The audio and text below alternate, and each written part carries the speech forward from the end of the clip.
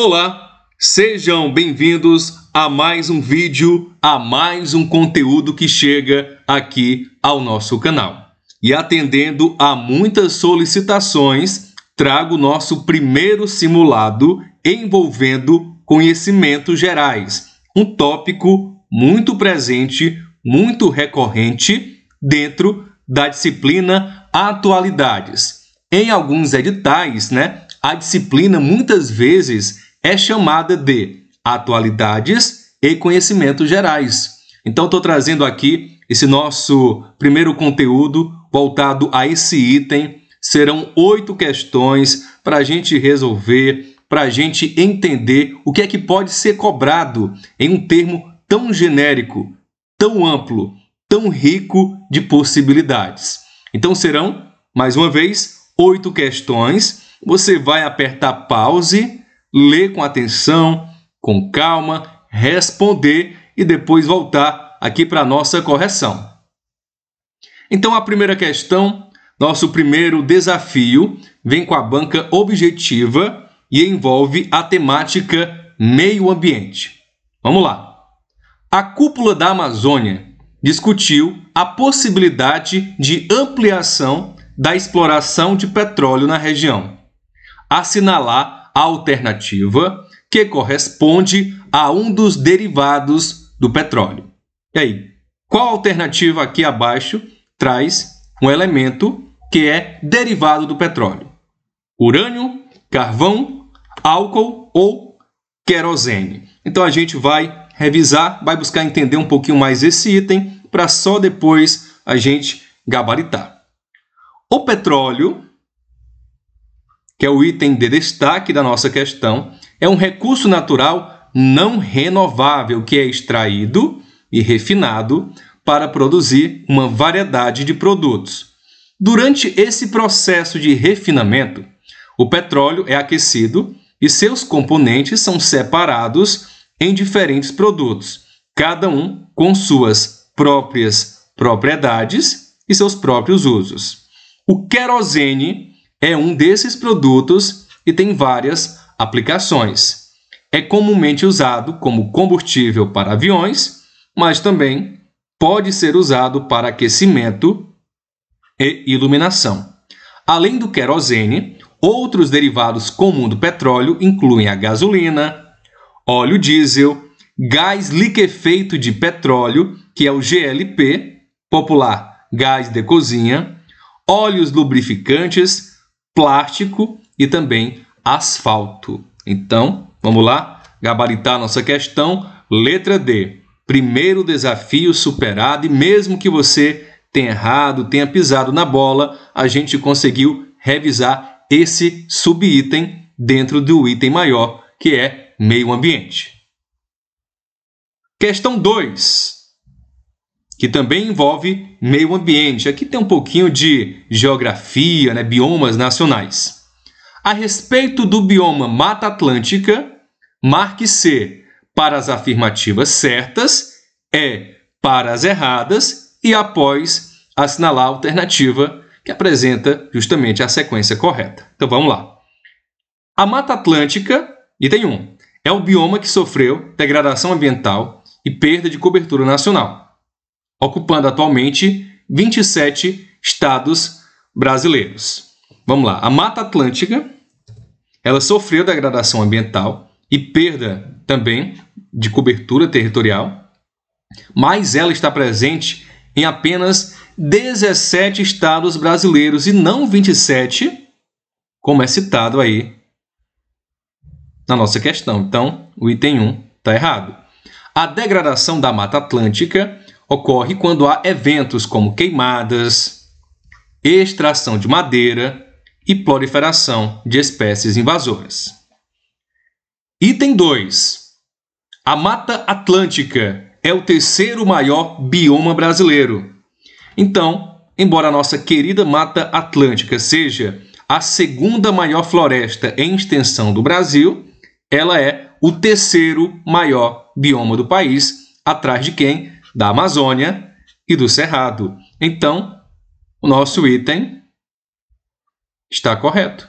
Ela é o terceiro maior bioma do país. Item 3. É um bioma considerado hotspot de biodiversidade, abrigando cerca de 20 mil espécies de plantas. Então vamos lá. A Mata Atlântica é considerada um dos mais ricos biomas do planeta, um hotspot, ou seja, com maior biodiversidade, e abriga aproximadamente 20 mil espécies vegetais. Estima-se que no bioma existam 1,6 milhão de espécies de animais, incluindo os insetos. Então tenho errado, correto, correto, gabarito, letra D. Vamos lá, questão 3, com a banca AG, agora envolvendo tecnologia, né, tecnologia e inovação. O TikTok não é uma rede social, é uma rede de entretenimento. O que distingue, distingue né, desculpem aí, uma coisa da outra é a natureza do algoritmo. O aplicativo né, chinês, americano, brasileiro, francês aprende que tipo de vídeo gostamos e sai mostrando outros conforme aquele padrão. A diferença está no fato de que ele ignora as contas que a gente segue. Sua preocupação, a preocupação do TikTok, não é reforçar os elos entre os seguidores, é mostrar o que entretém. Então vamos lá, a pergunta é básica: o aplicativo TikTok é de origem chinesa, americana, brasileira ou francesa? Então vamos lá. O TikTok foi criado pela empresa ByteDance, sediada em Pequim, na China. Então a gente já encontrou o gabarito, letra A. Ele foi lançado pela primeira vez na China em setembro de 2014. Opa, opa, opa. Né? 2014, sob o nome de Musical Lie. E depois lançado em todo o mundo como TikTok. Portanto, o TikTok é um aplicativo de origem chinesa. Então, gabarito, letra A. Agora sim, nossa questão apressadinha está na tela, né? Você aperta pause em todas as questões e lê com a sua calma, com a sua devida atenção, no seu ritmo, responde e depois volta.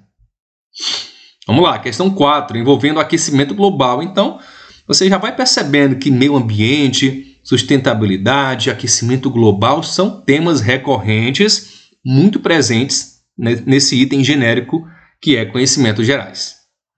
O impacto negativo, o impacto negativo de quê? Da criação de gado gera o aumento do aquecimento global, né? É, o que é que a criação de gado, resumindo, contribui em quê para o aumento é, do aquecimento global? É por conta da liberação de quê?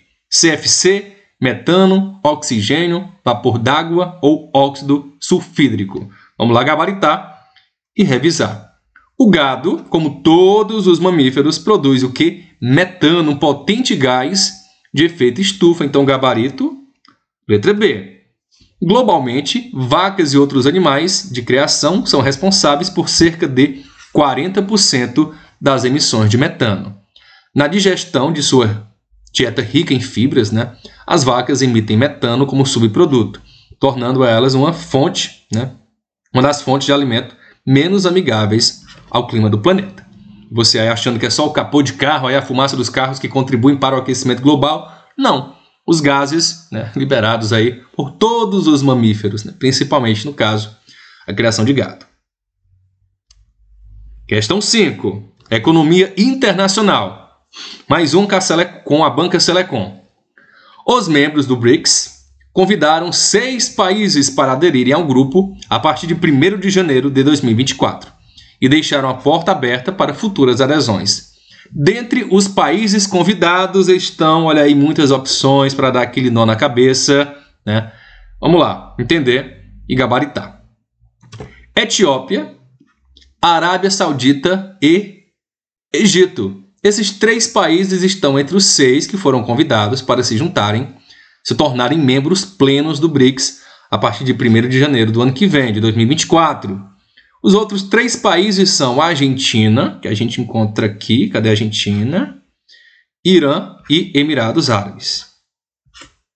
Então, gabarito aqui, letra C, a única, única alternativa né, que traz é, então, os três citados foram convidados. Tá bom? Vamos lá. Questão 6. História do Brasil, olha aí. No dia 1 de maio, comemorou-se 80 anos da criação, é, da consolidação das leis do trabalho, né, 80 anos da CLT.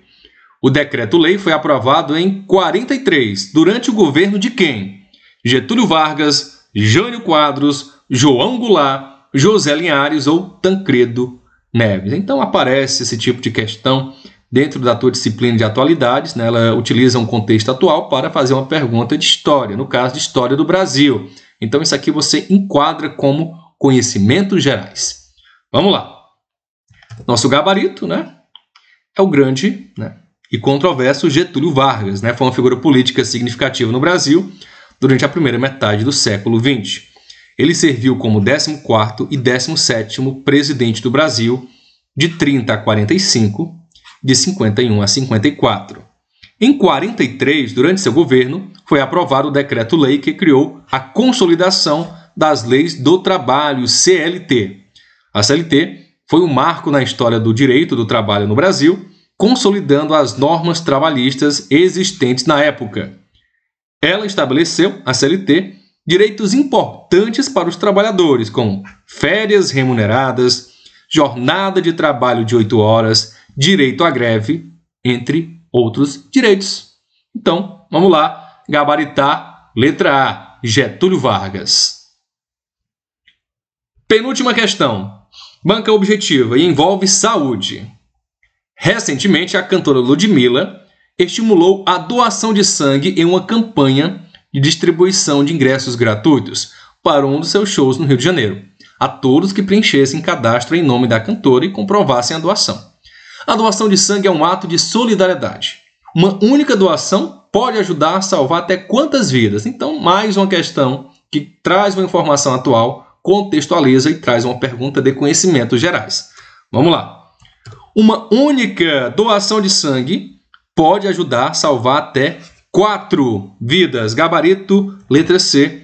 Isso ocorre porque o sangue doado pode ser dividido em diferentes componentes, né, como glóbulos vermelhos, plasma e plaquetas, cada um dos quais pode ser usado para tratar um paciente diferente. Portanto, a generosidade de um doador pode beneficiar várias pessoas. Gabarito, letra C. Agora sim, última questão, envolvendo política e história internacional. Quem foi a primeira mulher a ocupar o cargo de primeira-ministra do Reino Unido? Grande líder política, que ficou conhecido como Dama de Ferro. A gente vai eliminando, né? Dá para responder eliminando. Elizabeth II, monarquia, né? nada a ver com primeira-ministra. Kamala Harris é a vice do Joe Biden, presidente atual dos Estados Unidos. Angela Merkel é a ex-primeira-ministra da Alemanha, né? É, ela é antecessora do Olaf Scholz. Então só resta, por eliminação, letra A, por eliminação, a gente já gabarita. Né? Margaret Thatcher, vai marcar aqui na letra A, também conhecido como Dama de Ferro, foi uma líder política notável e a primeira mulher a ocupar o cargo de primeira-ministra do Reino Unido. Durante seu mandato, ela implementou várias mudanças influentes, incluindo a privatização e a desregulamentação, né, para mover seu país a uma direção a uma economia de mercado livre. Em assuntos externos, ela liderou com sucesso a Grã-Bretanha através da Guerra das Malvinas né, contra a Argentina e desempenhou um papel significativo no fim da Guerra Fria. Então, simulado resolvido, espero que você tenha aprovado. O teu feedback é super importante para que eu decida né, se continuo ou não trazendo esse item né, separado de atualidades, tá? Um simulado só de conhecimentos gerais. Aquele abraço, valeu!